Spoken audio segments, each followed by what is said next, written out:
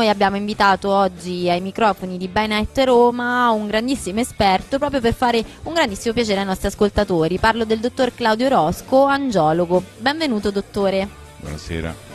Allora, innanzitutto come nasce la sua passione per eh, l'angiologia? Bellissima domanda. Io ho fatto una vita da ospedaliero, eh, da anestesista rianimatore, 33 anni di ospedale San Giovanni.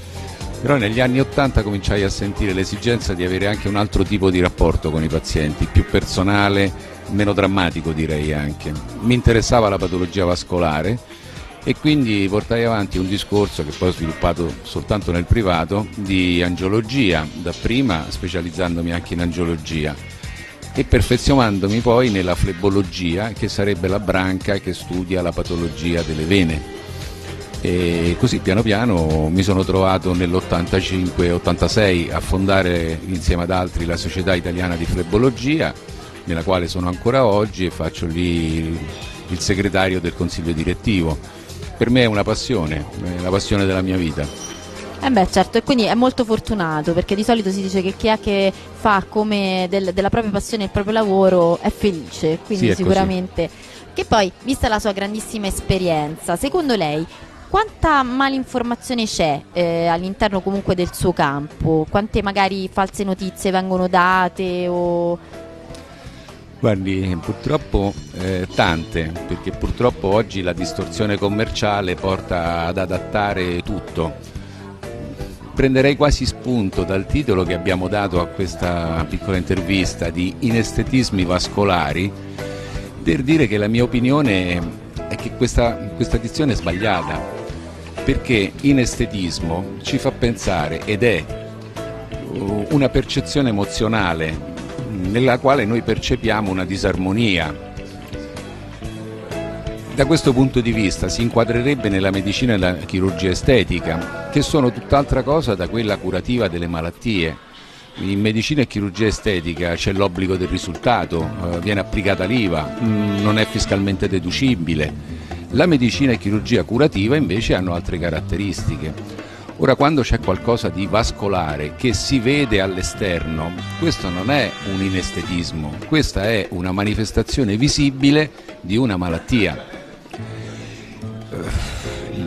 L'antonomasia di questo è l'interpretazione del capillare o della telangiectasia come un inestetismo. Purtroppo no, eh, il capillare o la telangiectasia è la manifestazione della malattia varicosa che si può esternare in molti modi, anche senza varici, solo con l'edema oppure con una safena abnormemente dilatata. Le, le microvarici, le teleangiectasie sono patologia, ehm, quindi questa è disinformazione. La donna che ha una teleangiectasia non deve pensare che ha un inestetismo come una pelle seborroica o come mm, un naso non gradevole, eccetera. Purtroppo c'è un problema è un problema anche un po' più grave che comunque bisogna... Ma non drammatizzerei, purtroppo è un problema legato eh, molto al sesso femminile e poi eh, all'Homo erectus, perché ci sono due grandi patologie uscite fuori dal fatto che l'uomo da quattro mani è diventato a due piedi. Si è alzato in piedi, quindi è aumentata la pressione agli arti inferiori e chi ha le vene più deboli eh, ne subisce le conseguenze. Quindi in realtà sarebbe anche normale magari trovarsi alcune problematiche arrivate soprattutto a una certa età?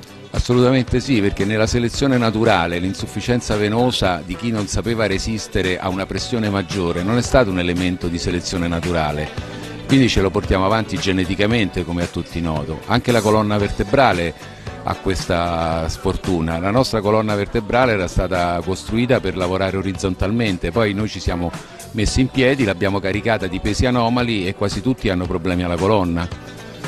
Vero, questo è molto vero. Quindi, uh, dato per assodato che comunque parlare di inestetismi cutanei vascolari non è corretto, quindi quale sarebbe il termine più giusto? Di patologia visibile. E quindi Come quali... la psoriasi può essere una patologia Appunto, visibile. Quali sono queste patologie visibili? Ma guardi, il campo è estremamente vasto.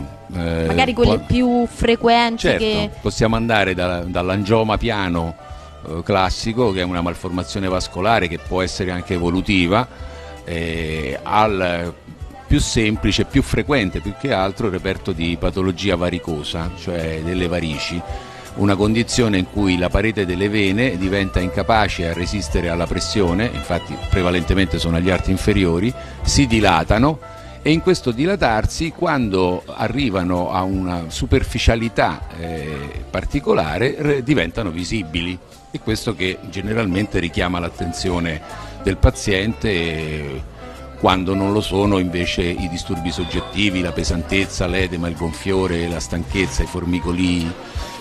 La donna in questo purtroppo è, mm, è penalizzata sì, eh, perché purtroppo ha eh, un'impalcatura del derma e del sottocute diversa da quello dell'uomo, eh, vedi cellulite eccetera. E poi la donna ha purtroppo gli, gli, estrogeni, o per fortuna ha gli estrogeni, però questo è un risvolto negativo degli estrogeni e anche un po' del progesterone, cioè di sensibilizzare la vena alla dilatazione, di renderla più facilmente infiammabile. Ma che cosa si può fare però quando ci sono queste problematiche? Ecco, qui c'è un po' un avanzamento delle cose, un flebologia 2.0 di sei. In passato l'approccio alle vene varicose è stato sempre un approccio distruttivo, cioè uno si presentava con una varice, il problema era come distruggergliela, eh, chirurgicamente con una iniezione che facesse sparire questa varice perché la trasforma da un tubo in un nastro saldato quindi si distruggeva, più varici più distruzione. Mm, negli ultimi anni, cominciato un po' dieci anni fa, ma insomma adesso si comincia a diffondere, con studi maggiori si è approfondito il fatto che la varice è innanzitutto un organo infiammato, sede di una infiammazione.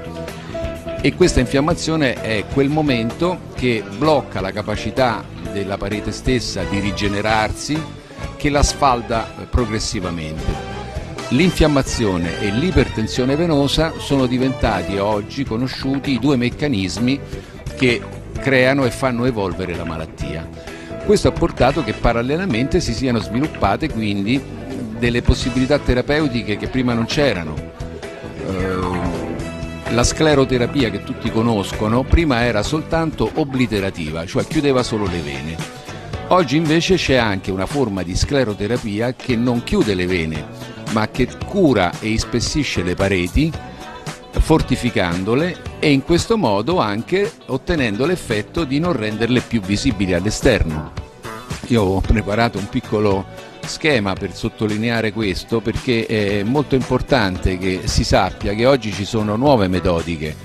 La scleroterapia classica si fa in forma liquida o in schiuma come molti sanno ma le scleroterapie conservative possono essere la TRAP, che è la Tridimensional Reconstructive Ambulatory Phlebotherapy, cioè la terapia ambulatoriale rigenerativa, oppure la ESEC, che è l'ecosclerosi ecoguidata.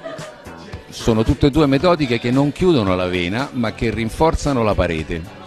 Eh beh, è bene che le persone sappiano che certo. ci sono queste possibilità oggi. Eh, eh TRAP sì. e ESEC sono due metodiche valide. Ovviamente sta alla capacità del medico eh, saper dare la giusta indicazione anche in funzione delle sue capacità, perché non è che tutti sanno fare la cosa più adatta per quel paziente. Eh, la famosa inizioncina di sclerosante la fanno tutti, ma non è detto che sia la cosa più opportuna per quella paziente o per quel paziente. Quindi molto varia anche ovviamente dal paziente che si ha di fronte. Assolutamente. E poi mi stava dicendo un'altra cosa molto importante, che oggigiorno assistiamo sempre di più ad una demedicalizzazione cioè in realtà si parla di, di, medicalizzazione, invece in realtà non è così, è un po' sì, un, un ossimoro. Assistiamo no? un pochino a, a, a, questo assurdo che da una parte si me- medicalizza tutto, qualunque cosa viene medicalizzata eh, con ovvi risvolti, mi permetta, commerciali.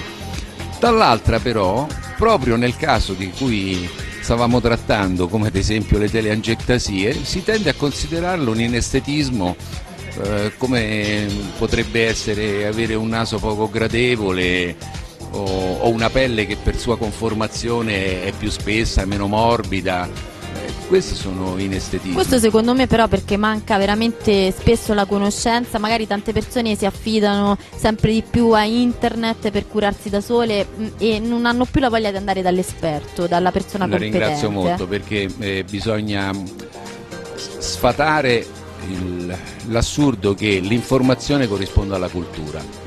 L'informazione è una cosa, la cultura è un'altra e molto raramente le due cose coincidono. L'informazione molto spesso è indirizzata da interessi. La cultura sta lì, te la vai a leggere e apprendi. Poi i risvolti commerciali sono un'altra cosa. Mentre oggi si parte da un'informazione, un'informazione non verificabile, perché chiunque può scrivere quello che vuole, e quindi potenziata dai mi piace, per cui se ci sono tanti mi piace sembra che quella cosa sia più sia credibile, invece non è vero. Non è vero. Quindi è giusto informarsi su internet, lo facciamo tutti io stesso, però poi su certe cose bisogna approfondire, o se ne ha la capacità oppure bisogna trovare, come in tutto, eh, la persona che ha competenza e quindi cultura di quella materia che sappia consigliarci ciò che serve per noi e non per lui. Sì. E quindi ehm, io ricordo che ai nostri microfoni abbiamo avuto il dottor Claudio Rosco e devo dire angiologo e quindi più competente di lui, cari ascoltatori, non ce n'è. Quindi se avete problematiche riguardanti il suo campo lo possiamo contattare. Io volevo far vedere, volevo darvi i suoi contatti e parallelamente Grazie, farvi grazie. vedere anche questo fantastico schemino che ci ha fatto. Allora ricordo il suo numero di cellulare che è 347 333 5629. Il suo studio si trova in via Acqua Donzella numero 27 in zona Colli Albani. Ricordiamo poi anche che è possibile reperirlo tramite www.dottori.it e poi eh, c'è anche l'indirizzo email claudiorosco-gmail.com ma una cosa che ci tenevo anche a precisare è che il dottore fa parte anche del registro italiano dei flebologi e poi anche del SIF, ovvero della Società Italiana di Flebologia. Quindi questo è molto importante, è giusto comunque dare un riconoscimento alle persone competenti e alle persone professionali. Io ricordo che questo era il dottor Claudio Rosco, eh, angiologo, che è stato ospite qui con noi. Grazie ancora. Un piacere per me essere stati con voi. E questo è Ben Night Roma, solo il top della capitale.